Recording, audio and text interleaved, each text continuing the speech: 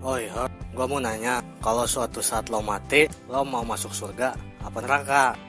Hep gak pilih keduanya. Loh, emangnya kenapa? Pokoknya Hep pengennya masuk tentara. Kampret nih anak. Mati aja dah lo.